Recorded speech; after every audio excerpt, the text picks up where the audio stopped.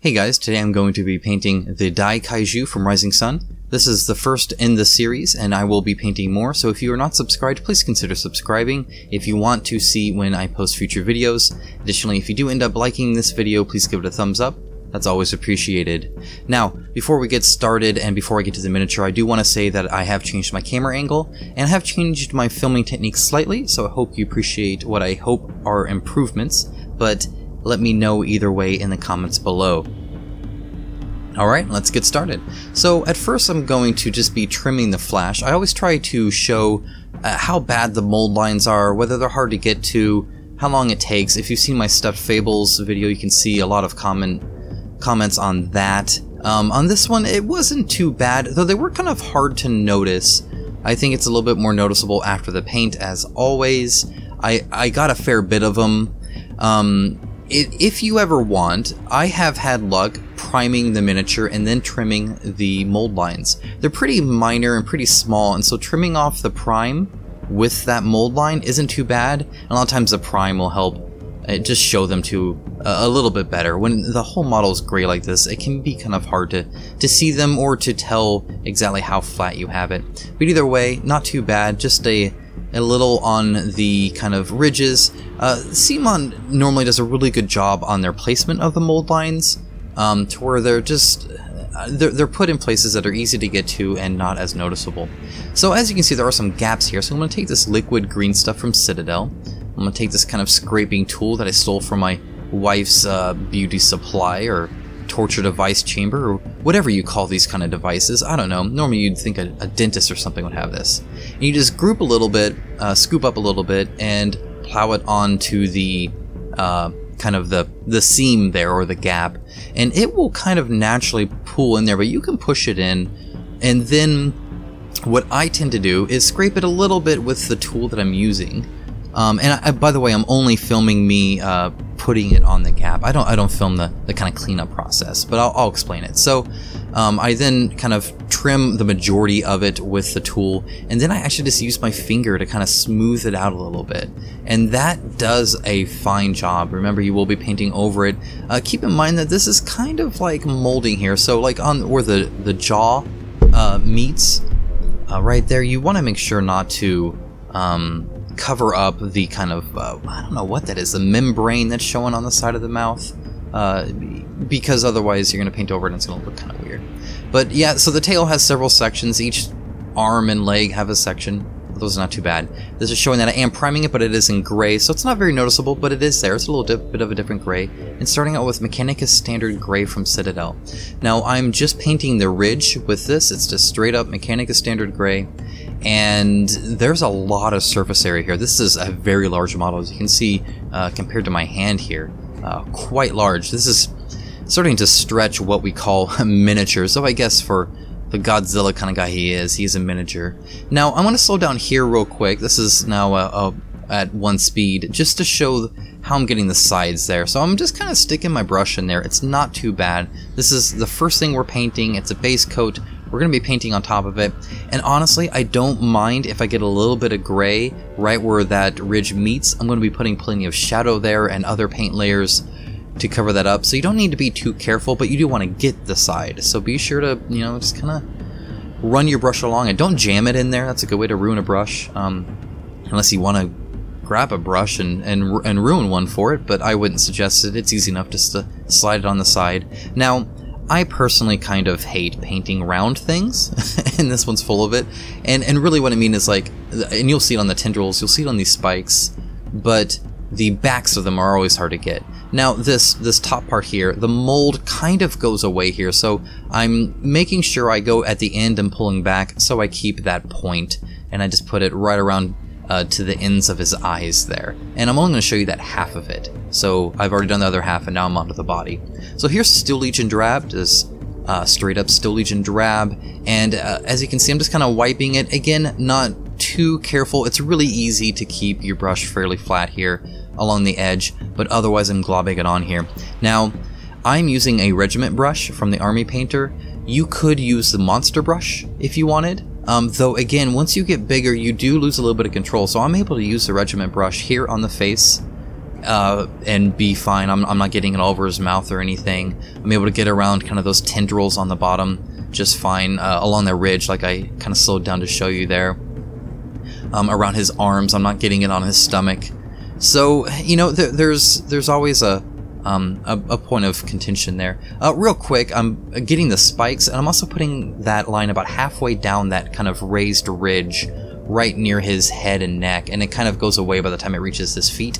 Um, but you know, just kind of an FYI there. About halfway through, I'm not going to do a wet blending uh, with enough layers. It's going to blend quite well anyway. Um, so I I don't mind the regiment brush and just having to load paint on it constantly. Uh, but you could probably do you know swap between the two and do a, a monster brush if you have a bigger brush, um, and then swap to a regiment brush later. That's not not too bad. And, and, again, so I haven't gotten the claws yet, but I'm able to keep pretty good control. If you did paint over the claws, that wouldn't be the end of the world. The claws are darker, so it's quite easy to paint over. If they were lighter, I would say differently. Um, and, and again, there is... So the mold li lines, again, get a little um, blurry here, but there is a natural ridge. That being said, as you can see, I'm putting paint past the ridge. So you can kind of see the ridge there um, towards the middle of the tail. And I'm putting paint on the other side just to give it a little bit of a slight um, uh, blending to it once I add the other colors. It'll change the color ever so slightly because these are all still kind of opaque. And I wanted to make sure that, or uh, translucent, and I wanted to make sure that it just looks fairly natural, right? Uh, this is not armor, and so hard lines aren't really a thing on this model. And really that means you can be a bit more forgiving in your painting, which is kind of nice. Back to Mechanicus Standard Gray. I did not do this when I had Mechanicus Standard Gray out the first time on my brush, just because I wanted to paint that jawline. Um, you could do it in the opposite. You could probably do the, the tendrils. Um, again, make sure you get every single side. Uh, turn the model around a lot to make sure you don't miss a spot. One of the joys of painting these round things. See? Oh, look, there's some more I didn't paint. I'm going to do that a lot. Um, anyway, you could do the gray first if you wanted. It's it's not a huge deal. Uh, Nuln Oil. This is uh, not watered down or anything, straight up, and I am just, you know, dragging it down the miniature. So a lot of times with ridges, I like to drag up because it'll pull up more in the in in the ridges, right, where one where like dips down to the next plate, and these are all defined enough to where I'm not too concerned about that. I feel it'll kind of naturally do that. And I wanted to get those kind of streak marks in it so you can see there's a texture on the ridges that have like those lines.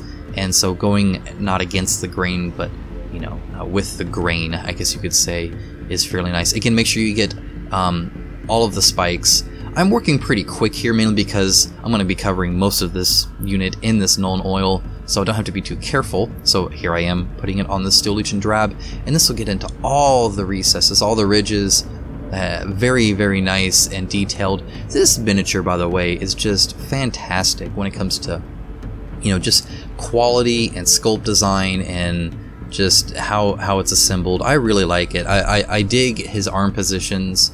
Um, it'd be really easy to do something different, and I'm glad it's kind of a, uh, I don't know, it's a, it's a unique pose for that.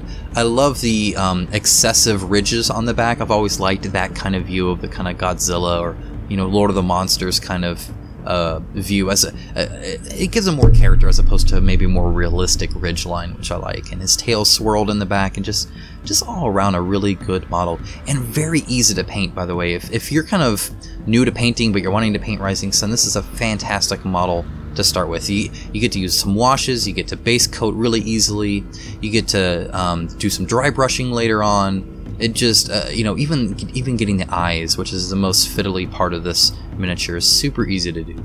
All around a, a very good miniature to quickly add a lot of um, you know color to it. So I did water down the Nuln Oil and then going from the end to the top. Remember wherever you leave your brush is where it's going to pool the most I'm just adding a slight amount of darkness um, to the tendrils I'm going to add another color later on uh, that'll again differentiate it. So this is uh, the Steel Legion Drab along with Mechanicus Standard Gray, one to one mixed. This is just as a dry brush, as I as you could see, I just kind of lightly feather it on there. It looks like I'm jamming it now that it's fast. That's another reason why I kind of slowed it down. It's very lightly touched, just trying to barely kind of brush the edges. You get most of the paint off the brush and you just wipe it clean where there, there's almost no paint on it. But there is a little bit, and it's getting on those ridges. And this is keeping the brown, so you still get that brown color, but bringing it closer to the gray. Otherwise, that gray and brown are going to look like it doesn't belong on the same animal. And so now we got Steel Drab and Administratum Gray, but a 2 to 1. So it's a brighter gray, but still more brown. So it's a brighter brown instead of really a lighter gray, but it still works in both spectrums. And I'm very, and this is watered down quite a bit, so it's a, a highlight layer, and I'm very casually, um, in air quotes, highlighting the ridges. Um, if you were crazy, you could highlight each individual scale here. Um, but I pray you're not. If you are, you're probably a better painter than me anyway because um, I don't spend that much time on these, um, and and I don't suggest you do too. With over 100 miniatures in the Kickstarter, uh, you're you're gonna have your hands full for a while, and this will take you a long time otherwise for a miniature that's otherwise very quick. So I'm just kind of haphazardly getting some of them, not quite all of them. In fact, I speed up more and more as I find I can really just kind of brush this along, almost like a dry brush and get fairly good. If, if, if, you do get too strong of a coat, again, you can dab with your finger and it's no problem because you're getting the tops anyway, so it's easy to rub off. This also adds another color variation, so now we have the Steel Legion Drab, we have an Administratum Gray added to it, we have the, um, you know, the Nuln Oil, and, and all of this together just gives it a little bit more lifelike look in the skin, which I like. Make sure to put a nice, good um, highlight on those uh, those spikes around his kind of neck flap, uh, kind of as I did. It really makes him stand out and pop out as yeah, these are actually spikes um, from farther away, which looks nice. Um, and, and again, I, am not worried about whether it's under the arm or above the arm. This is not a, a highlight from a light source. This is just kind of a general um, these bits are raised and then there's a bit of a color a variation. So here I'm taking that Administratum Gray, again very watered down, and just putting kind of a, a ridge on all these round gray bits. Um, so it'll be a little bit brighter. It looks even brighter when it's wet. When it dries, it darkens a little bit because some of what you're seeing is actually the water and reflecting whatever light source you're looking at. And then I'm also, I'm not worried about the ridges on the, along it. Instead, on the major bits of the ridges, I'm getting each spike and then the very bottom edge of it. Then I'm actually going to go back and get kind of the corners here. So that's what I'm doing right now. Just kind of running it along the edge, but kind of more on the top than on the edge. And that allows uh, just kind of to naturally have the brush on, on, the side of the brush. Just give this um, kind of slight differentiation in the lightness of the gray, which just makes it look a lot more lifelike.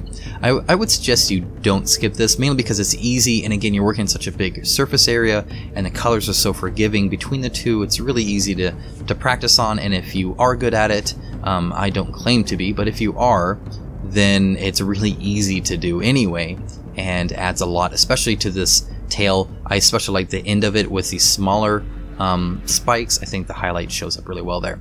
Okay, onto the belly. So we have Parasite Brown and Clear Orange. This is about a one-to-one -one mix. There might be a little bit less Clear Orange in here and a little bit more Parasite Brown. You can do it to eye, but it's about a one-to-one. -one. Um, and really, this blended a lot better than I thought it would. Uh, right here, again, I'm just showing, I'm putting it right to that ridge but that ridge is kind of barely there. It's noticeable, not, especially now that you painted to it, but just just showing, I'm just kind of brushing it almost like I would the rim of the base, where you're just kind of using the back of your brush. In fact, I'm kind of abusing this brush here, so maybe you shouldn't quite do it like that, but that's that's how I did it anyway. Um, anyway, this blended really well, and I was I was concerned it'd be a little bit too bright and it wouldn't um, it would just look kind of cartoony, like he was like a clown. Um, and I didn't want that. Now, it is, it doesn't blend super well here, but we're going to add more to it. It's going to work. Um, if I've learned anything in my time painting briefly, it's that with these paints watered down as much as you can, you can put quite a few layers on there. And a lot of times, the more layers you put of different colors and variations and textures, the better the end result, especially with this kind of living stuff like this. Though um, I, I, do the same when I weather metal. So, you know, either way, we're, we're gonna keep going on this and make it look really, really nice. Uh, Alright, so Seraphim Sepia is up next, and this is kind of a it's a light brown, but it has a little bit of a orange hue, hence kind of the sepia there. You can think of, you know, just like you would a, a, a filter for a image uh, nowadays. Um, and it, it really kind of bridges the gap really quickly. First of all, it you know gives some detail to those ridges there, but it bridges the gap between that brown and orange ever so slightly to make it a little bit easier there. Now we're getting to dark vermilion. While that dried, I decided to go back to the mouth. Uh, always let your washes dry, and so if there's some other bit you can paint while you wait for it, then you're not just wasting time. You better, you know, go eat something or grab a drink or, or do something. And I'm just shoving Nuln Oil in there.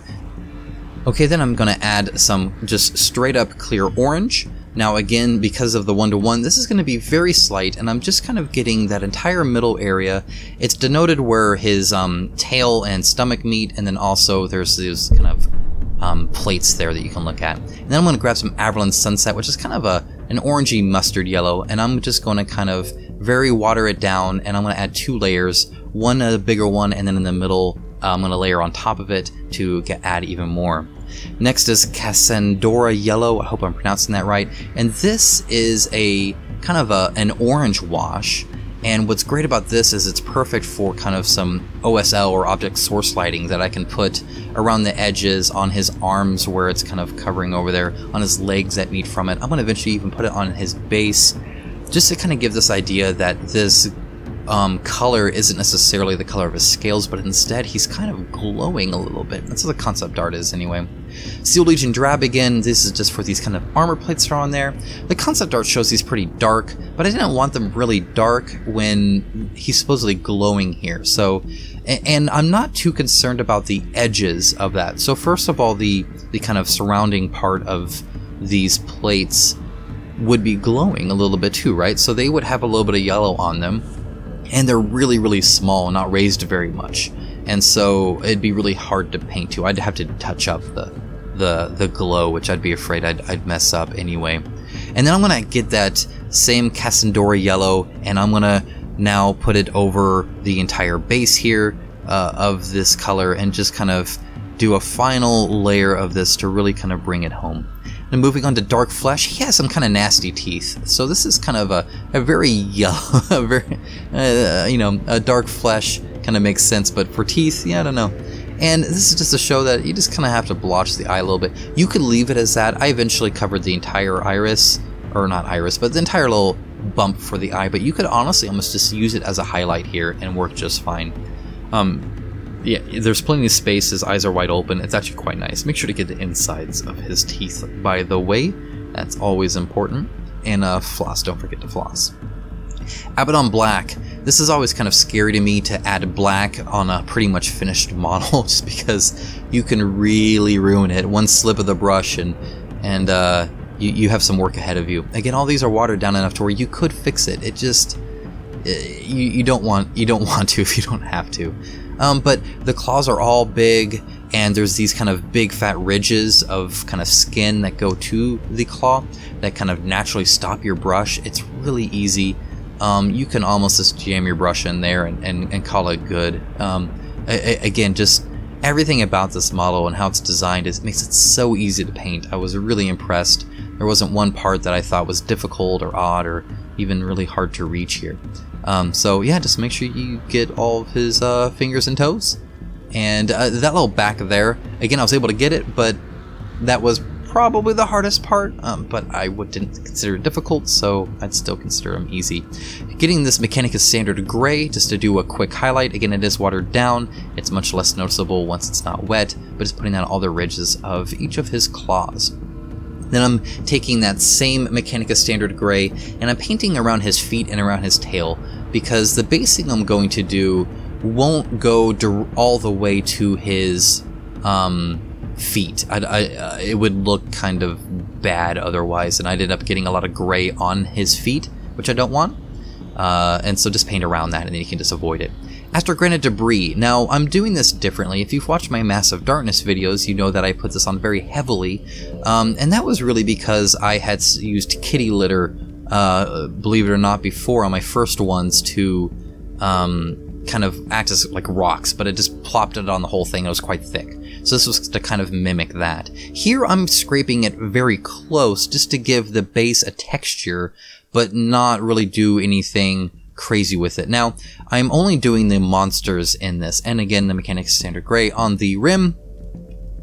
Uh, all the monsters are going to kind of look like this, and I have some other plans which you'll see for the actual tribes, and I haven't decided on the kami yet, but I, I have some ideas. Nuln Oil, so I'm going to throw Nuln Oil on this, and this is going to really pop out all that texture, um, even more so, and just kind of give me some natural shadows and darken the color, uh, which I didn't want this to be the same looking color as his ridges. I, I think that would look kind of bad, especially when it was like one's on top and then that's on bottom. It would look like he's kind of sandwiched between gray, which I didn't necessarily want either. Um, but again, I'm wanting all of my monsters to match, so I will be doing this on all of them at this point, and that's fine. This takes a little bit of time just because um, I don't I don't know why, Uh, but it, but it does. So I, I you know kept having to load my brush, make sure it's nice and, and heavy on there. This is not a light a light wash at all. And now I have this Administratum Gray, again very lightly brushing it. Make sure that debris is dry or it will scrape off. And this dry brush, again, along with the Nuln Oil, really pops out that texture and just makes it look fantastic in my opinion. And it's so quick and easy to do. Not too bad. You know, using a smaller dry brush, you don't want to get anything on his feet. If you do, just put like the Steel Legion drab and then cover it in Nuln Oil and it'll blend right in I imagine just fine. With all the other color variation in his skin, it's pretty easy. That's the Cassandra, Casandora, not Cassandra, yellow, and this is just that glow again showing that I am doing a matte varnish. That's Citadel's Purity Sealer. I buy that because it's nice and big. And here is the finished model. I really enjoyed painting him. I thought he was quick and easy to paint. I think he looks great, and I think he's a fantastic first miniature to paint for Rising Sun. For future videos, I have a few the next ones planned out. However, I would love to hear in the comments below if you have any um, requests for future Rising Sun paintings. Additionally, if you did enjoy this video or found it useful in any way, please give it a thumbs up. I always appreciate that. I look forward to hearing your thoughts in the comments below. If you want to actually follow me over on Patreon, we can interact there. Uh, you, I have a community section there. I do voting. Uh, in fact, I'm going to be painting a whole tribe uh, based off Patreon votes. So if you want to either just support the channel or if you want to be more involved in the direction these videos take, you can check me out over there. There will be a link in the description below, as well as my channel page. But you know what, guys? That is not an obligation, and I do not want you to feel obligated to do so. Thanks so much for watching this video. I always appreciate your viewership and your support. I'll talk to you guys again real soon.